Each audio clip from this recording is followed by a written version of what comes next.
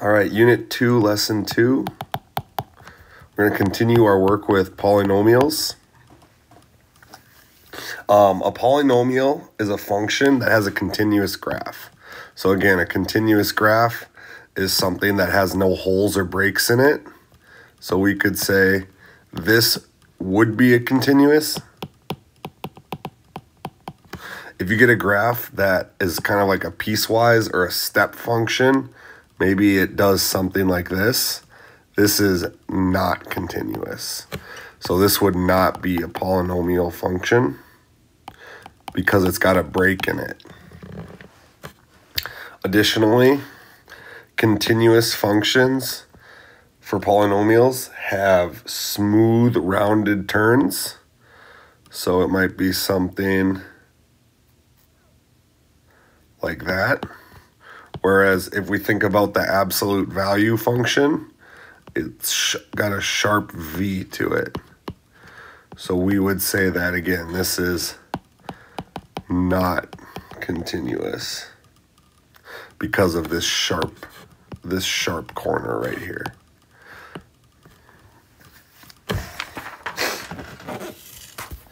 Um, again, this is probably review, but uh, we can transform our functions. We can move them around.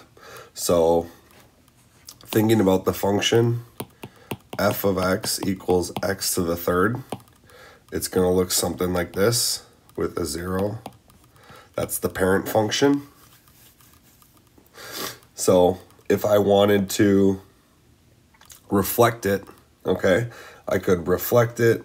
And if I made it, hey, I want to see f of x equals negative x to the third, my graph would be reflected. And it's going to flip. I can move this graph up or down.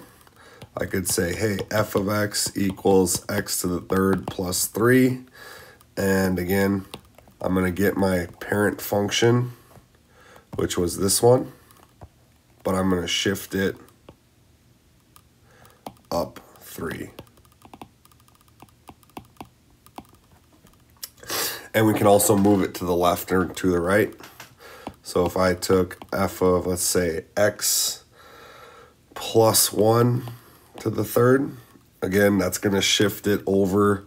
It's kind of opposite. That's going to shift it over to the left one unit. So again, this would be negative one, zero.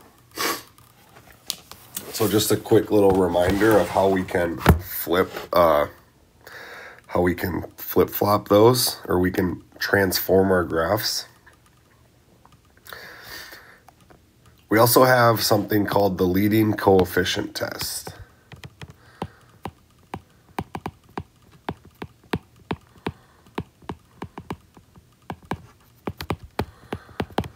Leading coefficient test kind of works like this. So all these graphs eventually rise and fall.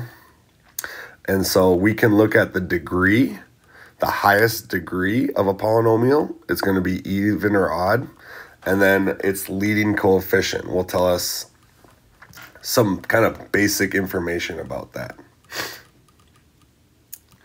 So again, our kind of formula for a polynomial is f of x equals whatever my leading coefficient is, then I've got an x to whatever degree.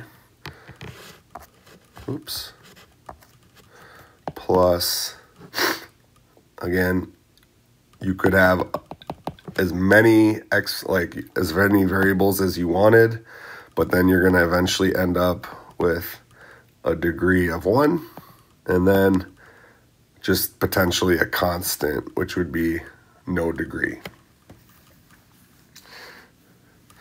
So if our degree is odd. So if our highest degree is odd, so again, if this right here is an odd, so if n is equal is odd,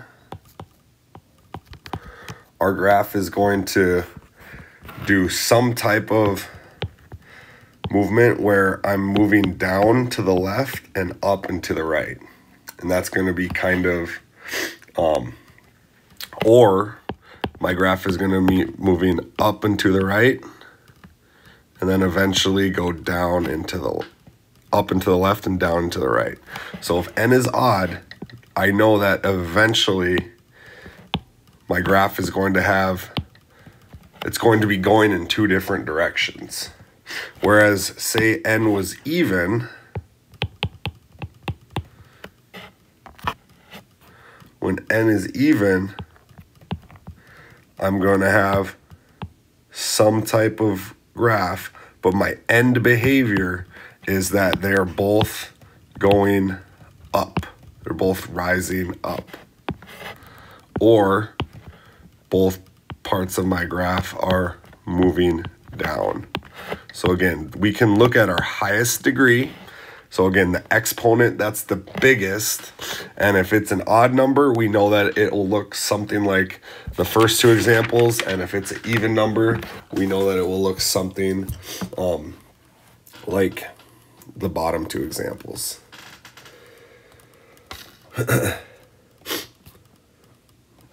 All right, so if I look at the example, let's just do a couple, A and B. I'm going to say f of x equals negative x to the third plus 4x, and then b is f of x equals x to the fourth minus 5x squared plus 4. So I'm going to look at the leading coefficient and my highest variable. So again, it's I know that it, the highest variable is x to the third, so it's going to be odd. So it's going to look something like one of these two. And this is when it's positive, when my leading coefficient is positive, and this is something like when my leading coefficient is negative. Kind of same idea, positive, negative. So I have x to the third and it's negative. So I know that it's go my graph is going to look something like this. So let's say we go to Desmos. Maybe I type in negative x to the third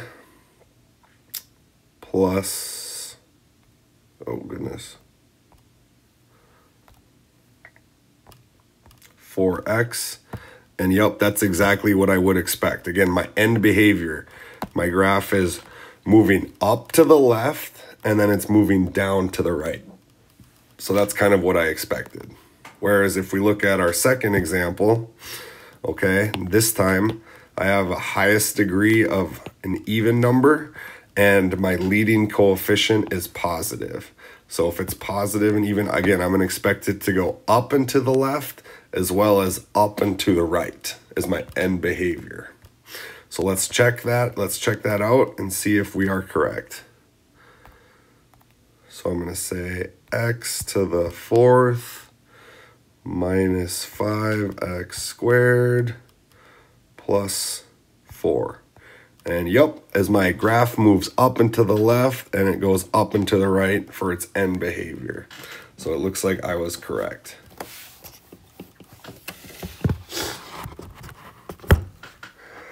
Um, another really big part of polynomials is finding zeros. So kind of like some basic rules again about finding zeros is x equals a is a zero of the function f. x equals a is a solution. So again, we could have x equals a. We could have x equals a if you can set the entire function equal to zero. x minus a is a factor, and that's what we're going to do a lot of, is factoring f of x. And then we also have, again, if y is zero, so this is like your x-intercept. So there's like four different ways that you could potentially find um, polynomials, zeros. And so we're going to do them algebraically and graphically. Again, using Desmos makes it very useful, but sometimes you might not have access to Desmos, or again, you have to prove it algebraically. So let's say that we get a function f of x equals x to the third minus x squared minus 2x. And I want you to find the zero, okay? So again, what I'm going to do is I'm going to use kind of the second method where I'm going to say I'm going to make this equal zero and I'm going to somehow algebraically solve it. And so again, I don't know how to factor when I have exponents with a degree of 3, but I do notice that each of these terms has an x in it. So what I'm going to do is I'm going to factor out an x from each term. And now I'm left with x squared minus x minus 2. So there's a lot of ways to think about this problem. I like to think about it, call it like a factor x. So I'm going to take my first number here and my last number here, and I'm going to say, okay, what two numbers, so I have a 1 and a negative 2. So I'm going to say 1 and I have a negative 2. And so these two numbers need to multiply to get negative 2. So again, if we say that this is A, this is B, and this is C, we say A times C, and then I put, they need to add to get B. So add to get B, and then multiply to get A times C. Well, 1 times negative 2 is negative 2. And then if I think about how do I get negative 2 plus 1, that's going to equal negative 1. So what I would say is, hey, I could factor this out as x minus 2, x plus 1.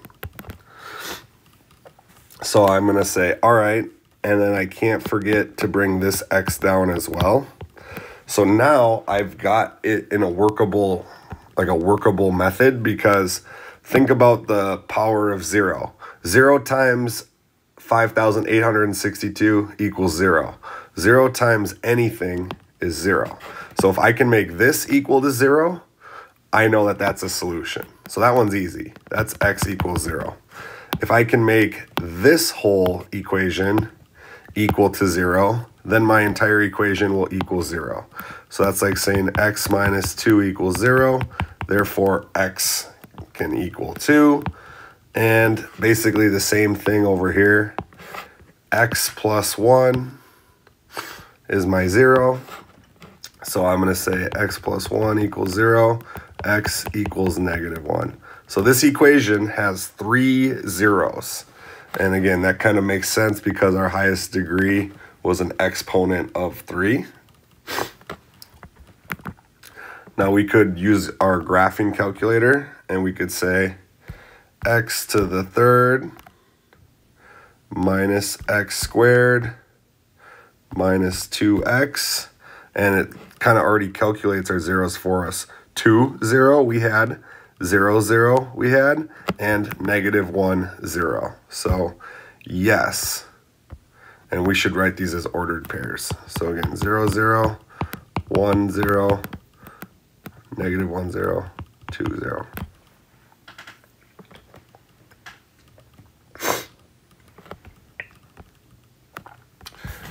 Okay.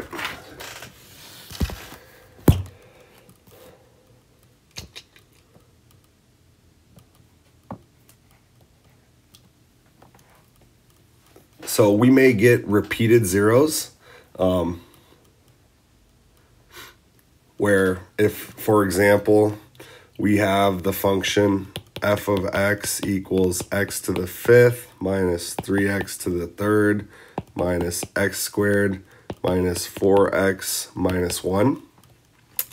And so if we graph this, again, there's going to be some zeros that maybe don't cross um, they don't cross the x-axis at x equals a. Um, and so again, we want to find the real zeros, which are the ones that do cross a. So if I look at my graph and I type in x to the fifth minus 3x to the third minus x squared minus 4x minus 1. Again, I've got some other numbers like I only care about the, the ones that cross zero. So 2.115, negative 2, negative 0.254, and negative 1.861. Because the quadratic factor, if we were to factor this out, we would get something like this. And again, you don't necessarily have to do it, but those three zeros are the zeros from this function because this quadratic right here, the yellow one, has no real zeros. All right. So you may also have to, you might be given the zeros and then you have to work backwards to come up with the quadratic. Given that my zeros are negative one half, three, and three, let's try to find the polynomial function. So given the zeros of negative one half. Now, thinking about x equals negative one half, there's kind of two ways you could set this up.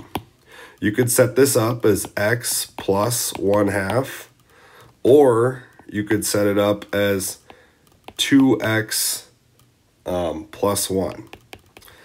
So again, if you think about if I were to solve this, this would be negative 1 half or 2x plus 1 equals 0. Subtract 1, 2x equals negative 1, divide by 2, x equals negative 1 half. We don't like fractions. Fractions make it harder, so we're going to use this one as our function. So again, if I was to find the polynomial, I would say 2x plus 1. These are the same, and again, these ones are easy. It's just x subtract 3. So I could say x minus 3 squared, or I could do 2x plus 1, x minus 3, x minus 3. And so I'm going to have to use the distributive property. So again, multiply here, multiply here, multiply here, multiply here. So I'm going to keep this 2x plus 1 at the end. x times x is x squared, negative 3x, negative 3x plus 9. Uh, combine like terms, 2x plus 1, x squared minus 6x plus 9. And now I have to use the distributive property one more time into each term. And so if I do that and I combine like terms, I'm going to eventually find 2x to the third minus 11x squared plus 12x plus 9.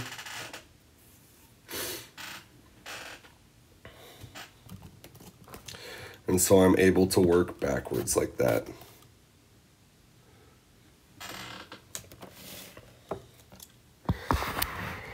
Okay, let me see here. I think sketching. So again, we can use the leading coefficient test and we can use the highest degree of an exponent to kind of sketch a graph by hand. When you're sketching graphs by hand, it may be helpful to use a table of values.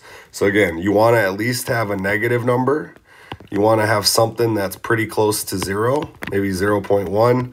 And then you want to have, again, so maybe a negative 0.1 or a 0.5. Maybe you want to do 1 and then 1.5. So again, what you need to do is you need to be able to find where does it cross my x-axis, where are my zeros, and what is the end behavior. I got to be able to draw my end behavior.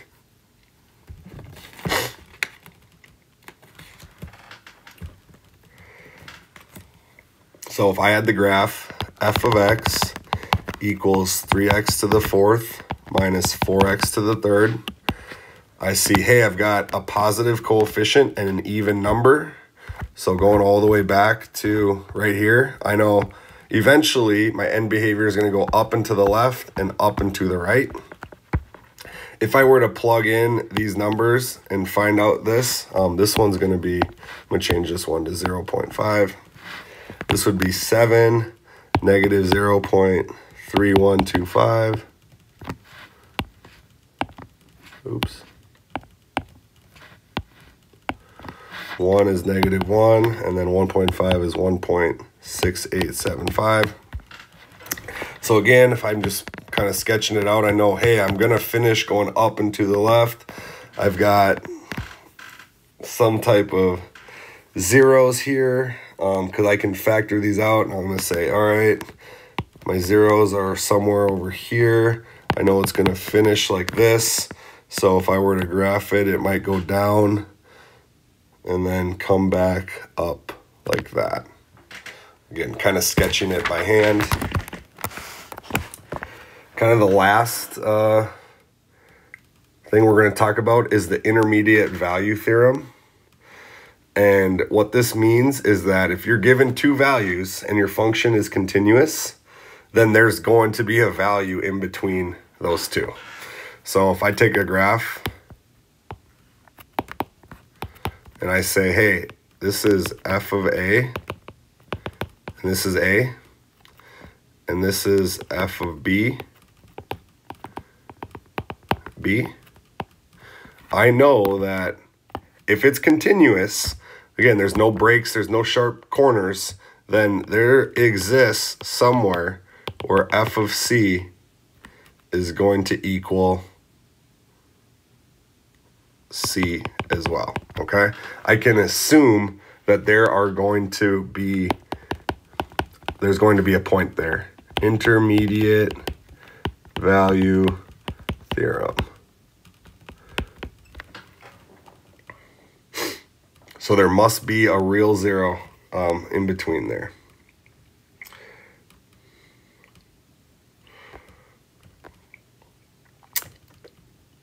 So when this comes into play is say you've got kind of a function. Let's say f of x equals 12x to the third minus 32x squared plus 3x plus 5. And can you guarantee that it has a zero? So I could like make a, you know, type in some values, find out, hey, when x is negative 2, when x is 1, what are we finding? So negative 2, I get x is negative 225. Negative 1, x is negative 42. When x is 0, y is 5. When x is 1, y is negative 12. When x is 2, negative 21. 3, 50, and 4, 273. What you're looking for is when it shifts from negative to positive. So because it's a goes from negative to positive, and then it does it again right here, I know, hey, the only way that it goes from negative to positive is if there's a zero. Because the only way to go from negative 42 to 5 is if you pass zero. So somewhere in between negative 0 and 1 is a 0. Somewhere in between 0 and 1 is a 0 somewhere in between two and three is a zero. Okay? And then again, we could graph it and actually find that out.